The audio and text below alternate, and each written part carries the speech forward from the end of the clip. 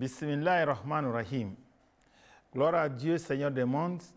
Allah, que ta paix, ton salut et tes bénédictions soient sur le saint prophète Mohammed, sur les membres de sa famille, sur ses fidèles compagnons et sur tous les musulmans de par le monde. Frères et sœurs en islam, chers téléspectateurs, assalamu alaikum wa rahmatullahi ta'ala wa barakatuh.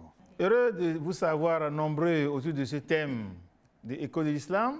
Aujourd'hui, nous allons parler de l'autisme et l'islam. Qu'est-ce que Allah a dit par rapport aux maladies, dont l'autisme?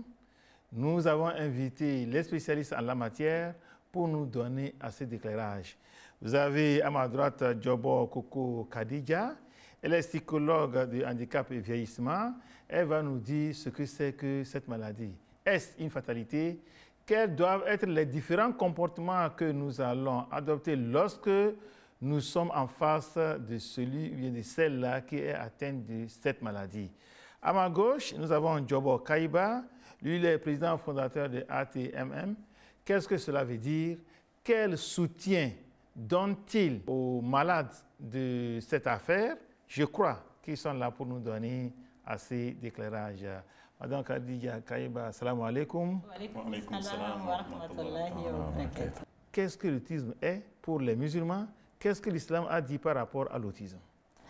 Merci, Monsieur Condor. Je suis vraiment honorée aujourd'hui d'être là sur ce plateau et partager un peu d'informations.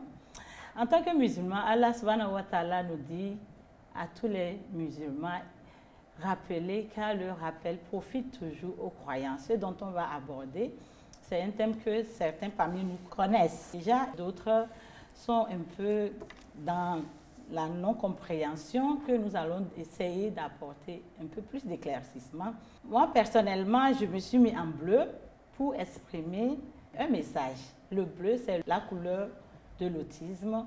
C'est un moyen pour moi de vous montrer que voilà, nous faisons une petite sensibilisation autour de ce thème. Et j'ai été vraiment honorée d'être là pour parler aux musulmans. Donc, euh, personnellement, j'ai un enfant qui est affecté par l'autisme sévère, qui a 13 ans, et je suis psychologue spécialisée dans handicap et vieillissement. Je milite beaucoup avec les parents qui ont les enfants affectés par ce handicap pour qu'ensemble, on puisse vraiment sensibiliser tout le monde et mettre à, lumière tout ce qu'il est possible de faire pour pouvoir les assister. Donc, depuis que je suis toute petite, j'ai eu cet amour, cette passion pour les relations humaines. Et également, j'ai eu la chance aussi de faire l'étude coranique un tout petit peu pour comprendre que notre existence, notre parcours terrestre sera jalonné par des épreuves. Allah nous a dit, est-ce que vous pensez que vous allez dire simplement que vous êtes croyant sans être éprouvé? Allah va nous éprouver depuis le début jusqu'à la fin de notre séjour terrestre qui est très courte et c'est de là que nous serons récompensés au jour euh, du jugement dernier. Donc, combiner les deux facteurs, j'ai effectué mes études en psychologie dans la spécialité de handicap pour être derrière toute personne qui traverse une difficulté traumatique, les accompagner émotionnellement pour qu'ils sachent que on ne doit pas être dans la fatalité, on ne doit pas baisser les bras. Il y a plusieurs actions qu'on peut mettre en valeur pour pouvoir accepter son sort et avoir une vie paisible et valorisante. Donc euh, voilà, autisme et l'islam. Est-ce que c'est une fatalité? Non, pas du tout. C'est vrai que pour vous dire un peu plus sur l'autisme, c'est un handicap qui est caractérisé par des troubles troubles au niveau de trois axes, euh, au niveau de la communication et du langage, le trouble au niveau des interactions sociales et des troubles au niveau du comportement où l'enfant montre beaucoup de mouvements que nous qualifions de bizarres, des mouvements stéréotypés. Et donc, quand vous voyez l'enfant physiquement, il ne présente pas d'handicap, mais c'est lors des interactions que vous voyez qu'il y a une grosse anomalie qui est là. J'ai mon fils qui est autistique et je vous parle en connaissance de cause, c'est un handicap qui est tellement, tellement épuisant sur tous les niveaux, physiquement, économiquement et émotionnellement. Et, malheureusement, dans notre communauté, c'est un handicap que nous n'acceptons pas facilement. Et les musulmans sont tellement passifs par rapport à cet handicap et souvent on aime euh, cacher l'enfant et il y a des actions vraiment efficaces qui sont là qu'on peut faire mais malheureusement qui ne se fait pas. Donc euh, j'interpelle tout le monde à être au courant de ce mal, ce handicap pour qu'ensemble on puisse vraiment apporter un accompagnement efficace aux parents et aux enfants qui sont affectés par ce mal. Oui, en tant que musulmane, est-ce que les musulmans pensent que cette maladie vient de Dieu ou bien c'est un mauvais sort? Justement, c'est une très bonne question. Merci, M. Condor. Euh, l'islam, en fait, nous a prévenus en tant que croyants que Allah, notre Créateur, va nous éprouver sur tous les niveaux. Et donc, euh, c'est un handicap que l'islam considère comme une épreuve venant d'Allah, mais parallèlement, on ne doit pas être là, croiser les bras, on doit agir d'une manière efficace face à cette épreuve. Mais malheureusement, dans notre communauté, ce n'est pas ce qu'on voit. Dans notre communauté, les parents qui ont des enfants autistiques sont beaucoup marginalisés. On porte des jugements euh, mal fondés sur eux. Des fois, on dit que c'est une punition divine. C'est parce que la maman ou bien la famille ont fait du mal que Allah les punit en leur octroyant un enfant pareil. Et puis, ces enfants, la plupart du temps, les parents même, ils ont honte de leurs enfants et on les cache. On les cache et ces enfants sont dépourvus de droits.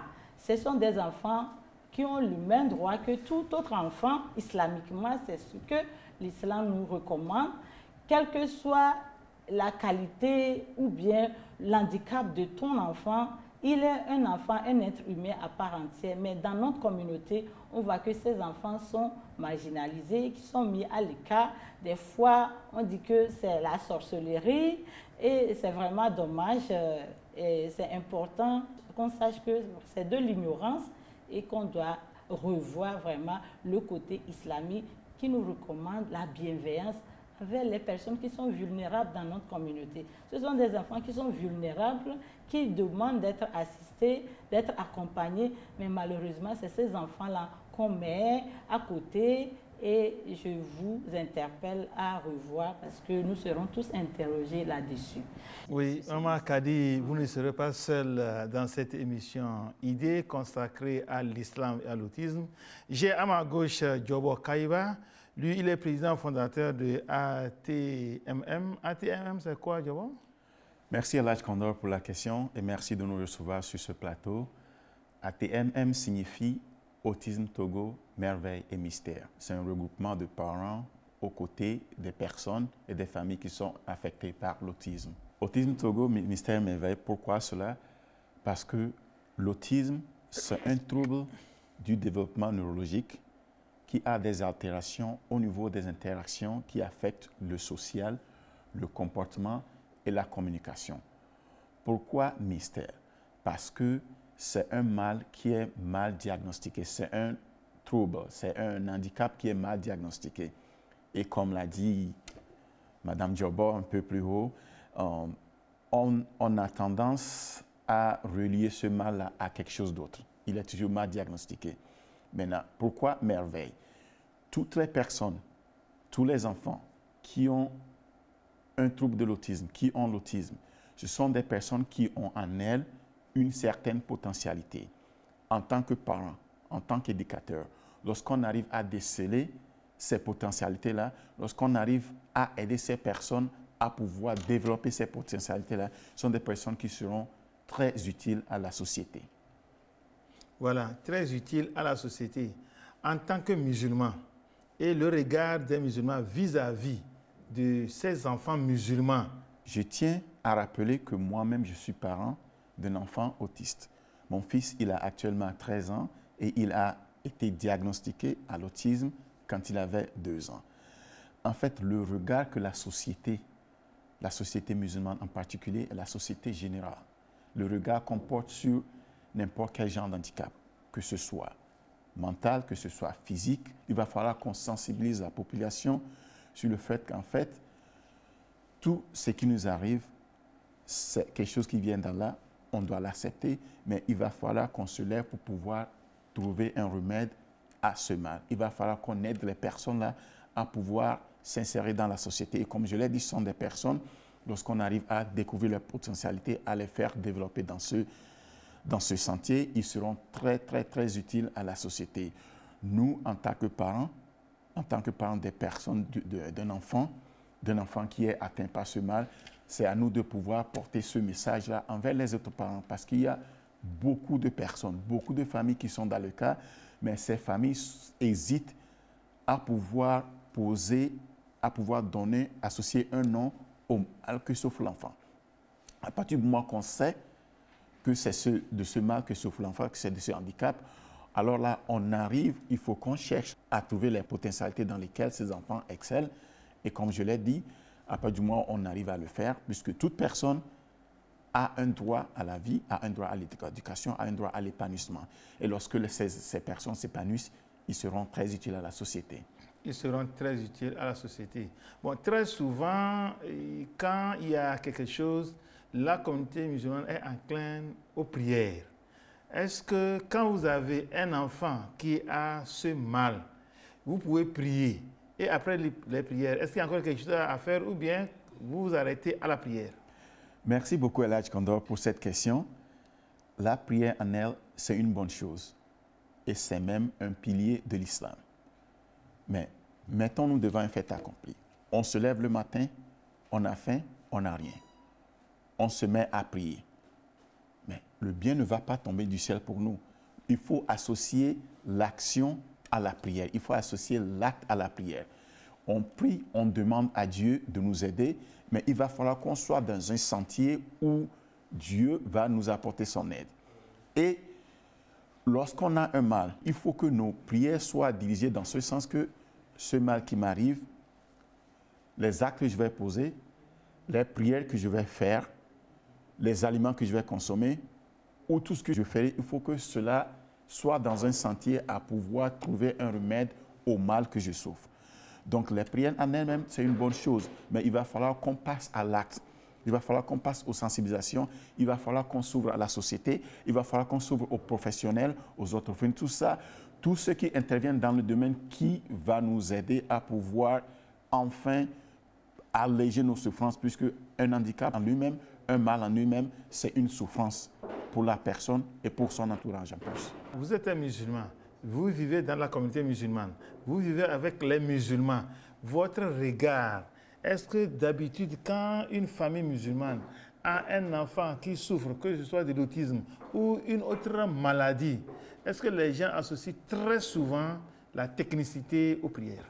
C'est une tare, c'est un manquement et c'est un point sur lequel il va falloir que tout le monde se réveille il n'y a pas de sensibilité religieuse là-dessus.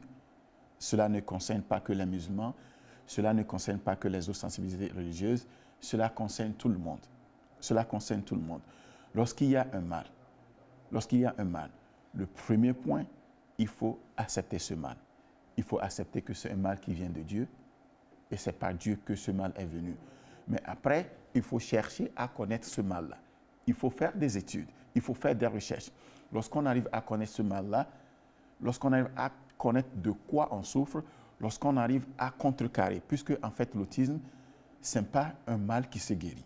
Ce sont des accompagnements, ce sont des thérapies qui, on aura le temps d'intervenir là-dessus, ce sont des, des, accompagnements qui aident la personne à pouvoir s'épanouir. Et lorsqu'on ne se lève pas, lorsqu'on ne joint pas l'acte à la prière, l'acte à la parole, on ne sera pas en mesure de pouvoir apporter l'aide nécessaire à ces personnes-là. Maman Kadigia, vous êtes euh, une musulmane, vous êtes dans un foyer. Très souvent, euh, comment ça se passe dans un foyer lorsque on a un enfant qui souffre euh, de l'autisme ou une autre maladie? C'est comment le poids est très souvent se repose sur qui? Voilà, c'est une très bonne question. Alpha Condon, merci beaucoup. J'ai eu la chance d'être aux côtés des parents et surtout des parents musulmans qui ont des enfants autistes. Et c'est un témoignage qui me donne beaucoup de tristesse, mais qu'il faut dévoiler afin qu'on puisse améliorer les conditions de vie des enfants et puis des parents qui sont affectés par l'autisme. Donc malheureusement, euh, dans nos foyers euh, musulmans, plus spécifiquement, et même dans les foyers des non-musulmans, africains, euh, la remarque et les réalités sur le terrain montrent que les hommes fuient leurs responsabilités. Dans ces conditions-là, le poids se repose beaucoup plus sur la femme, ce qui ne doit pas être le cas. Vous savez, les recherches ont montré que l'autisme, les parents qui élèvent un enfant qui a l'autisme, le taux de stress est extrêmement élevé. Tellement élevé que c'est comparé au combattant qui est sur le champ de bataille. Imaginez un combattant sur le champ de bataille, en face de lui, qui voit la mort venir à lui à n'importe quel moment. Donc, les recherches ont montré ce, cette corrélation-là. Parce que sincèrement, si vous l'avez jamais vu, c'est l'occasion. Si vous avez la chance, allez visiter les parents qui ont des enfants autistes et vous allez découvrir cette réalité. Le taux de stress est extrêmement élevé. Et si le mari et la femme ne sont pas vraiment en cohésion pour pouvoir aider l'enfant et eux-mêmes, eh, le foyer va s'écrouler. Malheureusement, la plupart du temps, c'est ce qu'on voit. Eh, il y a un taux élevé de dépression dans la famille où il y a un enfant autistique. Il y a d'émotions négatives qui est là et puis des pensées suicidaires. Il y a beaucoup vraiment de facteurs négatifs qui viennent déstabiliser la cellule familiale. Donc, c'est important que les parents soient soudés. Au-delà des parents, maintenant, la famille élargie doit être aux côtés de cette famille-là. Je vous donne l'exemple de moi-même. Quand mon fils a été diagnostiqué à l'âge de deux ans et demi, c'était aux États-Unis. Donc, le jour où ils ont posé le diagnostic, il y a deux cellules psychologiques qui sont mises en place qui vont accompagner les parents et une cellule qui va accompagner l'enfant parce qu'avec les recherches, ils se sont rendus compte que lorsqu'on pose le diagnostic, ils savent déjà que le chemin que, que va parcourir les parents est vraiment un chemin exceptionnel où il y aura beaucoup de traumatismes, beaucoup, beaucoup de charges émotionnelles, beaucoup de difficultés et que ces parents vont s'écrouler si on ne fait pas quelque chose pour les aider. Donc, psychologiquement, on était là, on nous assiste tout au long de notre euh, trajectoire et il y a un psychologue aussi pour, pour l'enfant. Donc, malgré tout cela, je vous assure que ce n'est pas facile. Vous voyez, l'épuisement est là au niveau émotionnel, l'épuisement est là financièrement, l'épuisement est là physiquement, en tout cas, l'épuisement est toujours présent. Imaginez, nous, on a eu cet accompagnement-là et on sent le poids vraiment euh, intense de cette souffrance, de cet handicap. Donc, en Afrique, nous n'avons pas d'accompagnement. Nos frères et sœurs qui sont en Afrique, qui n'ont pas d'accompagnement, comment est-ce qu'elles elles vont pouvoir vivre une vie épanouie? Voilà, c'est pour cela que je vraiment fais l'appel à, la famille élargie de mettre la main à la pâte et d'assister ces parents-là. Et également les professionnels aussi de vraiment assister. La plupart des professionnels que moi j'ai eu à, aborder, ils ignorent ce problème-là. Ils ne comprennent même pas euh, ce handicap, comment aider. Parce qu'il y a des gens qui sont animés par une bonne volonté pour faire quelque chose, mais ils ne savent pas quoi faire pour aider ces familles-là. Donc, c'est l'occasion pour nous aujourd'hui de vous dire qu'il euh, y a vraiment du travail à faire. Il y a du travail à faire parce que quand notre enfant était diagnostiqué, il était dans son monde avec toutes ces difficultés qu'il rencontre. On ne pensait pas qu'il allait pouvoir évoluer. Mais l'équipe est mise en place des, thérapies, des spécialistes de tous bords. Donc il y a une équipe qui est là derrière l'enfant et aujourd'hui il fait des merveilles. Il a développé beaucoup de compétences au niveau euh, linguistique, la communication, la socialisation et au niveau de son comportement agressif envers lui-même et envers les autres, on voit vraiment euh, l'amélioration. Ça nous donne aussi euh, voilà, cette capacité d'être beaucoup plus soudés dans la famille. L'enfant est beaucoup plus épanoui, de même que les parents. Et vraiment, c'est ce que nous voulons, le message qu'on veut véhiculer. La prière, la prière est très importante. Mais au-delà de, de la prière, il faut qu'on soit proactif. Il ne faut pas qu'on soit passif, parce que c'est ce que je remarque dans la communauté musulmane. On est tellement dans cette passivité, on met tout, Dieu est là, on prie et puis ça y est, alors qu'il y a beaucoup d'actions qu'il faut faire, voilà, pour aider. Et je vous interpelle sur ce point. Je vous remercie. Merci, Madame. euh, Monsieur Diobo, et Madame, dans son intervention, dit que la plupart des foyers où il y a un enfant autiste, et les, les hommes fuient un peu leurs responsabilités et le fardeau se repose sur la femme. C'est vrai? C'est une des raisons pour lesquelles je me suis levé, je me suis dit, je vais prendre le devant. Il va falloir qu'on ait ATMM, Autisme Togo Merveille Mystère. Pourquoi? Parce que les femmes, elles sont plus proches des enfants. Elles sont plus proches des enfants. Mais lorsqu'il y a un handicap, lorsqu'il y a un mal qui affecte l'enfant, c'est la mère qui est la première personne à le savoir.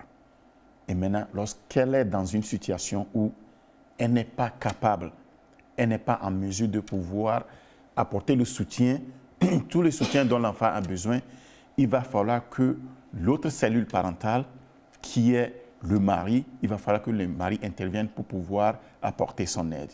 Et ce qu'on a constaté dans les foyers, cette charge-là est toujours laissée à la femme seule.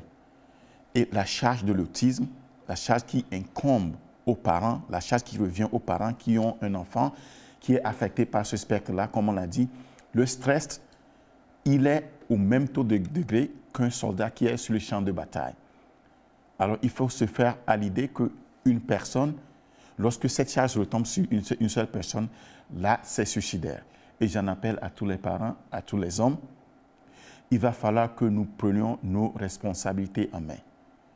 Parce que nous sommes les premiers à communiquer à la société lorsqu'on a une naissance.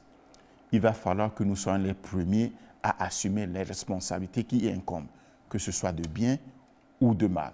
Et en tant que musulmans, tout ce qui nous arrive, tout ce qu'on fait sur cette terre, nous sommes appelés à répondre de nos actes. Qui sait si c'est à partir de cet engagement-là, c'est à partir de cette aide que nous offrons à l'autre salut familial que sont nos femmes, c'est à partir de cela qu'Allah aura pitié de nous et nous serons récompensés de la meilleure manière possible, qu'est le paradis. Oui. Selon vous, en tant que toujours musulman, si les hommes se comportent de cette manière, ils se comportent de cette manière parce qu'ils sont des musulmans ou bien c'est le comportement de tous les hommes dans les, dans les foyers?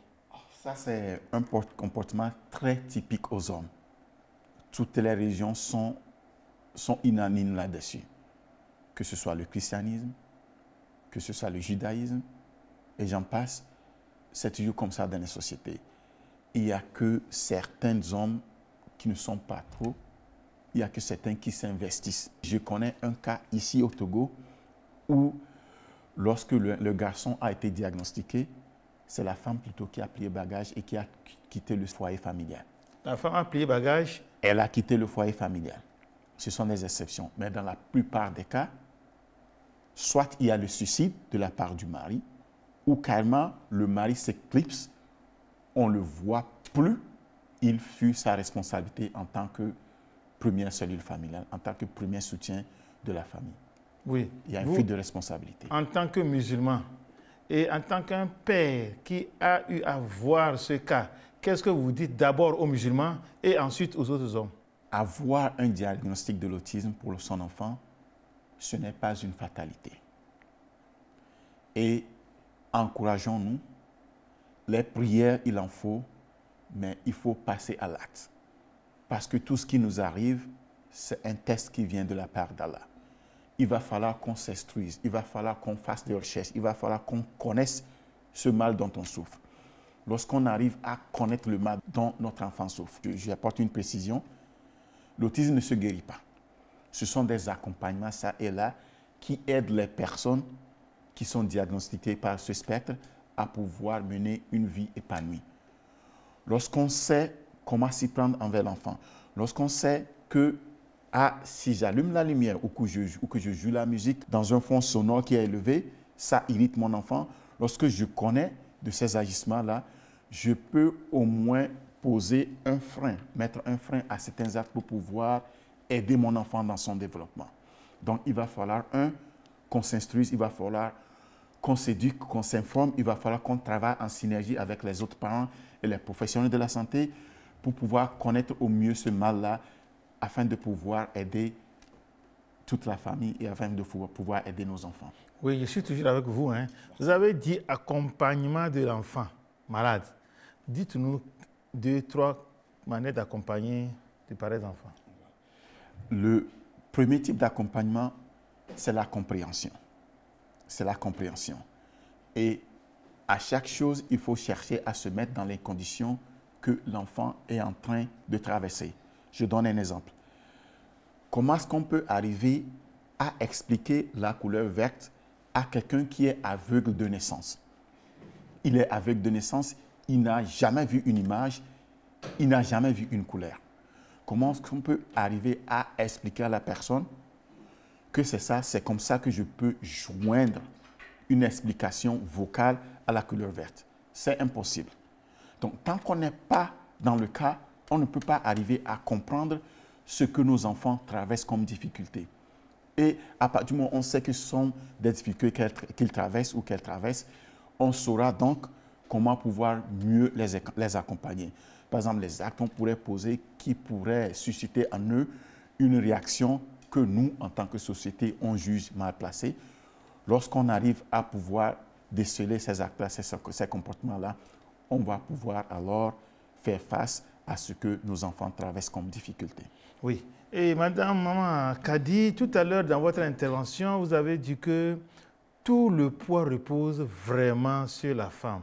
Est-ce que vous pouvez nous dire à peu près quelles sont les difficultés? En tant que musulmane, vous êtes appelé à observer les piliers de l'islam, les actes culturels. Et maintenant, quand vous avez un enfant autiste à la, à la maison, pour la plupart de ceux qui ne savent pas de quoi est la question, dites-nous à peu près quelles sont les difficultés, quelle est la charge qui repose sur vous, puisque vous avez un enfant autiste Un enfant autiste, comme on l'avait défini, est en train de se développer et a des troubles dans son développement et c'est à vie. Et du coup, comme c'est à vie, ça veut dire qu'il doit être accompagné à vie. Maintenant, c'est quoi l'accompagnement nécessaire pour que cet enfant puisse vraiment profiter de sa vie? Voilà, c'est le point central en fait, puisque on disait la prière, oui, c'est bon, mais à côté de la prière, il y a des actions. Sans ces actions-là, on n'aura pas une amélioration de sa condition de vie. Donc l'accompagnement dont on parle, c'est en fait l'enfant, il a des perturbations au niveau de la communication. Il faut un accompagnement au niveau de la communication. Comment l'amener à pouvoir s'exprimer, exprimer ses besoins élémentaires. Par exemple, l'enfant ne sait pas dire j'ai faim. L'enfant ne sait pas je suis fatigué, j'ai mal à la tête. Non, ce blocage fait que l'enfant est dans des comportements inappropriés comme agression envers eux-mêmes, agression avec les autres, destruction. Ils sont en train de se faire du mal à tout moment ou bien faire du mal aux autres. Donc l'interaction au niveau de la société est problématique. Les gens qui sont là, qui ne comprennent pas ce qui se passe, ils préfèrent le critiquer, l'engueuler, euh, dévaloriser la famille. Euh, donc la famille même a honte de cela. Ils préfèrent cacher cet enfant-là. Alors que c'est le besoin élémentaire là que l'enfant n'arrive pas à exprimer qui le pousse à avoir des comportements comme ça. Donc, les spécialistes en Occident et les parents qui ont des enfants autistiques, eux, ils se sont mis ensemble pour détecter quelles sont les stratégies possibles. L'enfant là que j'ai va passer toute sa vie, je serai à ses côtés. Qu'est-ce qu'il faut faire pour amoindrir ces difficultés qu'il rencontre pour que moi, en tant que parent, je sois un peu apaisé dans l'éducation avec l'enfant? Donc, ils ont mis en place des thérapies les thérapies au niveau de la communication qu'on met en place petit à petit. Et il y a plusieurs thérapies, mais la plus validée est la thérapie ABA, qu'on appelle en anglais Applied Behavior Analysis. Où on étudie vraiment, on évalue l'enfant dans son langage, le niveau qu'il a, et maintenant mettre en, place des petites actions qui vont stimuler l'enfant, parce qu'ils ils sont dans la stimulation, dans le conditionnement pour aider l'enfant à pouvoir exprimer une parole, dit j'ai soif. Comme ça, au lieu d'exprimer son besoin par la violence, par des comportements, quand il arrive à dire j'ai soif, automatiquement, il a de l'eau à boire, vous verrez que ces comportements euh, inappropriés vont réduire. Donc, comme je l'ai dit, tout au long de la vie, l'enfant là va exhiber beaucoup de, comportements inappropriés. Mais quand on développe euh, son langage, on voit que vraiment ça va de mieux en mieux. Et puis, il y a ce comportement-là au niveau des interactions. On va lui apprendre que voilà, des comportements pareils n'est pas approprié dans telles conditions. Voilà, il y a des événements sensoriels aussi qui interagissent avec l'enfant où on doit vraiment travailler et mettre en valeur euh, tout ce qui bloque euh, l'essence de l'enfant aussi pour s'exprimer. Donc il y a beaucoup de thérapies comme des massages aussi, beaucoup de thérapies au niveau où l'enfant n'a pas la communication orale. Donc on met tout en imagé pour l'aider quand même à pouvoir s'exprimer d'une manière ou d'une autre. Donc voilà ce travail qui est globalement là, mais qui est extrêmement cher aussi, parce que cette thérapie, quand on diagnostique un enfant, minimum, il faut 20 à 40 heures par semaine pour accompagner l'enfant. Donc ces 40 heures, c'est coûteux et il faut payer financièrement et il faut aussi le temps que tu sois là à côté de l'enfant, toi-même tu es formé en tant que parent et que tu formes l'enfant et que tu l'aides eh, pour acquérir ces petites compétences-là. Mais heureusement, la science avec les recherches, quand l'enfant est pris en charge très tôt et qu'on met toutes ces thérapies en place, vous verrez qu'il acquiert des compétences et ça améliore sa condition de vie et ça améliore la condition de vie de toute la cellule familiale. C'est pour cela que nous faisons cet appel-là de ne pas rester bras croisés. Les parents sont trop passifs en Afrique, surtout dans notre communauté musulmane. Et lorsque le cas est présent, j'ai vu des familles où l'enfant est mis à la maison, on le laisse là, on ferme la porte, il n'y a pas d'interaction. Et malheureusement, dans l'autisme, lorsqu'il n'y a pas d'accompagnement de thérapie, l'enfant reste dans son monde comme ça pour toujours. Et ce n'est pas possible. Et c'est inhumain. Voilà, c'est pour cela que c'est important aborder les, professionnels et que les parents soient ensemble pour partager les expériences de vie et améliorer eh, vraiment eh, la condition de l'enfant qui est affecté par l'autisme. Voilà. Merci beaucoup, Mme Kadiya Djobor. Nous sommes pratiquement arrivés à la fin de cette émission, mais je ne vous laisserai pas partir euh, sans vous poser cette dernière question. Est-ce que dans l'histoire euh, des musulmans ou bien des parents qui ont des enfants, on les appelle autistes. Voilà. Et il y a des gens, des enfants qui ont été accompagnés jusqu'à réussir? Déjà, l'expérience que moi j'ai, c'est que les parents même ne comprennent pas ce qui se passe. Ils ne comprennent pas pourquoi. Eh, parce que l'entourage est dans le jugement. Les parents même détestent l'enfant des fois. Dans certains cas, les parents n'aiment pas parce qu'ils se disent eh, pour que j'investis beaucoup et je n'aurai rien demain. Il ne sera pas là pour m'assister. Là, c'est d'un. Et puis, dans notre communauté, malheureusement, eh, il n'y a pas de solidarité. Quand cela arrive, ou même euh, l'enfant est marginalisé, euh, il y a beaucoup de stigmas, beaucoup de regards négatifs. Au lieu d'aider, si même on ne veut pas aider l'enfant, il ne faut pas plonger l'enfant. Donc ce que je vois, c'est qu'on n'aide pas l'enfant et on plonge encore l'enfant dans la dépression. Vraiment, c'est l'abus, l'abus dans sa totalité qu'on voit.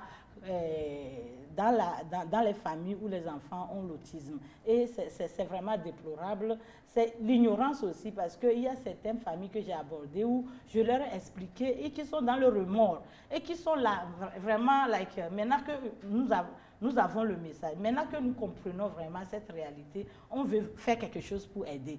Donc l'ignorance aussi tue. Voilà, donc il y a beaucoup d'ignorance qui est là au sein de notre communauté. Et voilà, ce message-là, je l'adresse à tout le monde, que ce soit musulman ou non musulman, euh, que vous vous levez, que vous êtes formidables. Ensemble, on peut faire quelque chose de meilleur. Ils sont des êtres humains comme nous. Nous sommes tous au même pied d'égalité. Ce sont des enfants qui ont des droits. Donc, euh, ne les banalisons pas, valorisez-les et faites le peu même si vous ne pouvez pas faire, quand vous les rencontrez, souriez et puis encouragez les parents. Je vous remercie. Merci beaucoup, Khadija. Maintenant, Jobo Kaiba.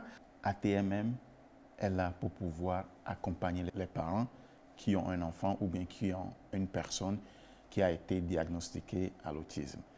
Et c'est un combat de toute la cellule familiale. Je parle de l'homme comme de la femme.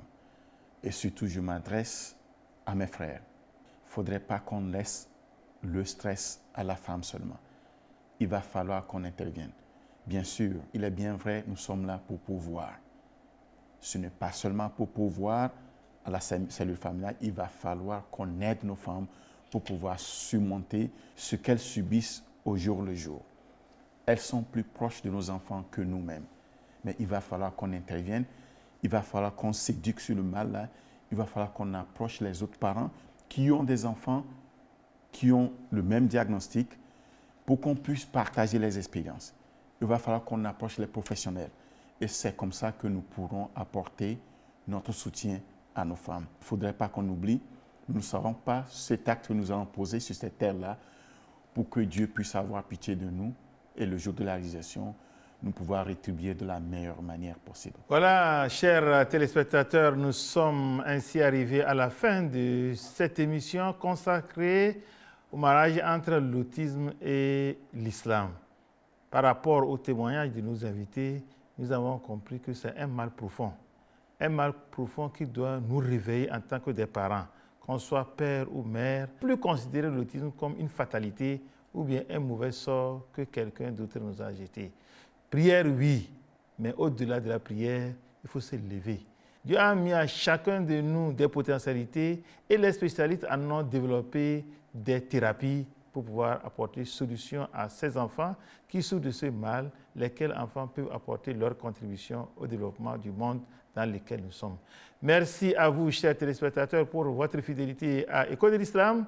Merci à Linda Lou, notre réalisateur du jour.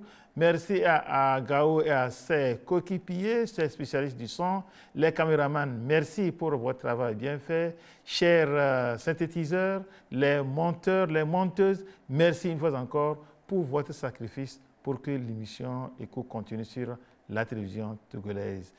En attendant de vous retrouver la semaine prochaine, je vous dis assalamu alaikum wa rahmatullahi ta'ala wa barakatuh.